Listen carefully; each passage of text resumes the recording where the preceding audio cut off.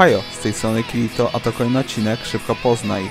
Dzisiaj zajmuję się produkcją, która wiele problemów rusza z nietypowej strony, czyli 13-odcinkowy komediowy dramat romantyczny Station Butayeru Łabany Girl Senpai no Yume Wominai od studia Cloverworks.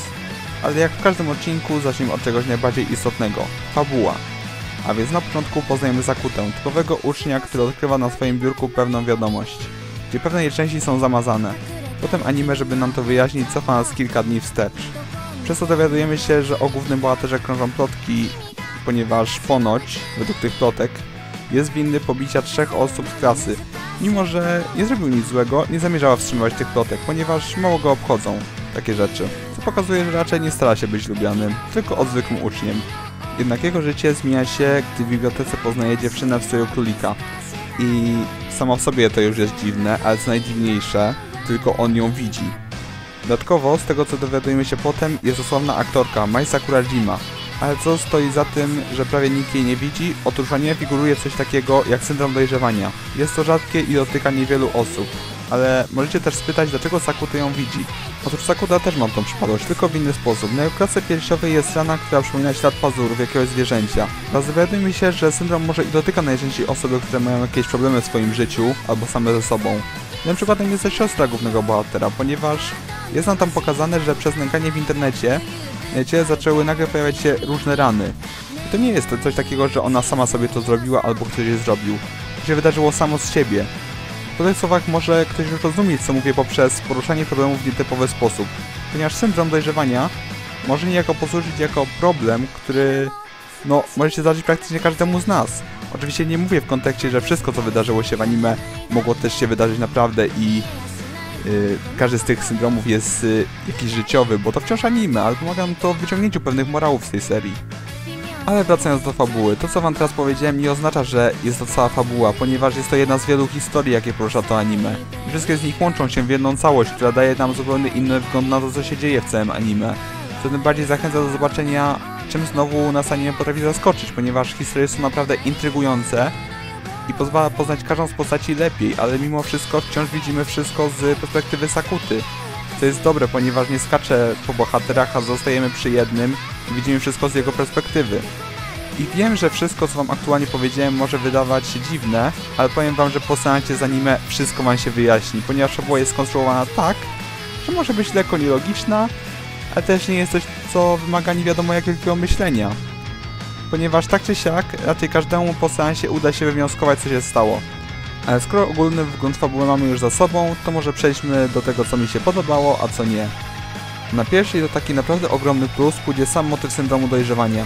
Wiem, że podobne zabiegi mieliśmy w innych seriach, bo na przykład takie serie jak Chunibyo, na którą kiedyś też przyjdzie czas, mieliśmy to w lekko odmienną stronę, bo nie mieliśmy syndromu dojrzewania, a tak nazywany syndrom Gimbusa.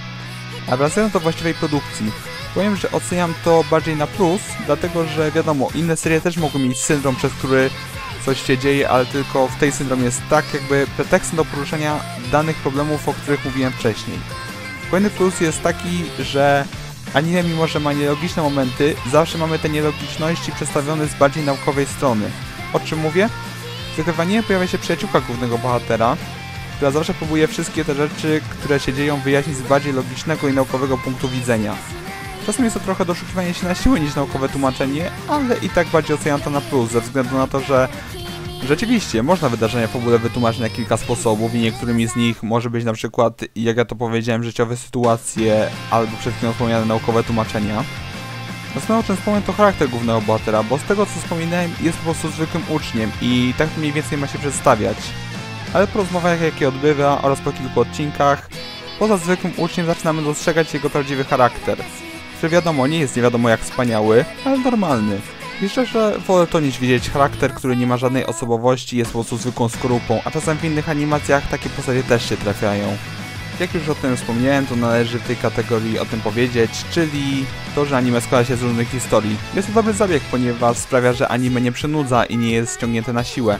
Cały czas mamy coś interesującego, cały czas anime dodaje do historii nowe interesujące postacie oraz historie, które tak samo są bardzo ciekawe i niejako wiążą się czy to z charakterami tych postaci lub ich przeżyciami, które też poznajemy. Tak samo anime nie jest niedopowiedziane, mamy tutaj wszystko dopięte na ostatni guzik. Żeby nie wspomnieć, powiem tylko, że skoro to dramat, nie mogę nie wspomnieć tutaj o momentach, które naprawdę mogą ruszyć człowieka.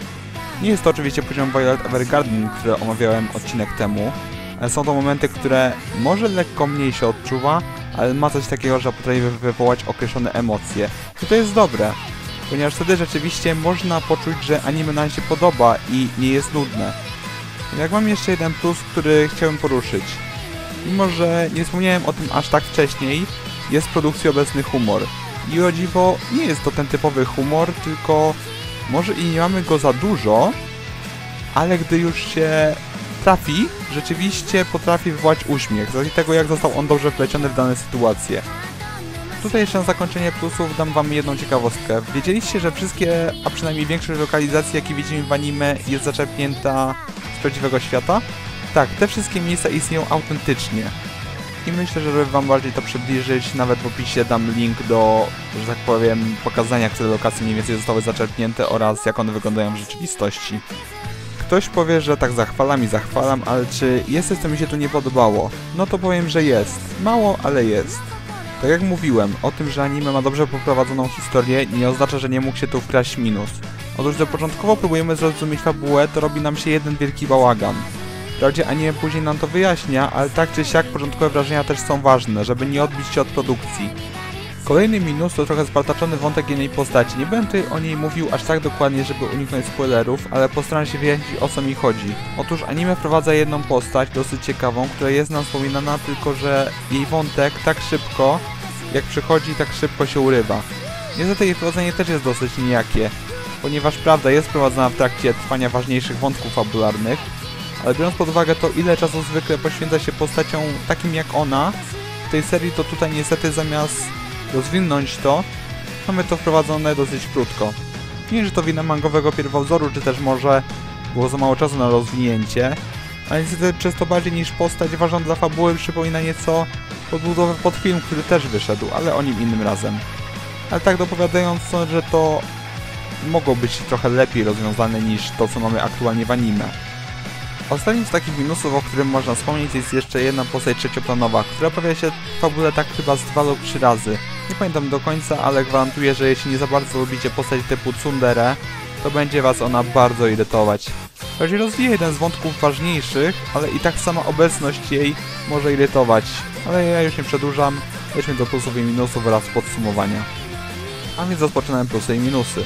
Plusami są dobra i bardzo interesująca fabuła, sam motyw syndromu dojrzewania, dosyć jasne morały, życiowe sytuacje, naukowe tłumaczenia na wszystkie rzeczy fabularne, charakter głównego bohatera oraz większości postaci, nie ma ciekawe podejście do fabuły przedstawiając nam kilka historii, dobrze wpleciony humor, dopięty na ostatni guzik wątki, momenty, które potrafią ruszyć człowieka.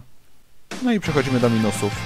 Początkowy bałagan, jeśli próbujemy to sobie uporządkować, sobą poprowadzony wątek jednej z postaci, jedna postać, która potrafi irytować. Podsumowując, Station WTR-u Łamany Girl Senpai no Yume Wominai jest produkcją, której warto poświęcić swój czas, ponieważ możliwe, że będzie to jeden z lepszych seansów. Od razu mówię, że ten bałagan, o którym mówiłem na początku minusów, szybko się rozwiązuje, a dalej anime potrafi tylko mnie zaskoczyć oraz wywołać miłe wspomnienia po seansie.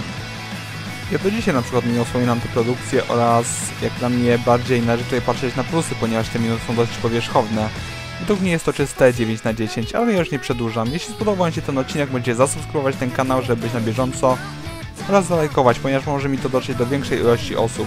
Arigato za obejrzenie tego odcinka i żegna się z Wami Kirito do następnego odcinka. Cześć!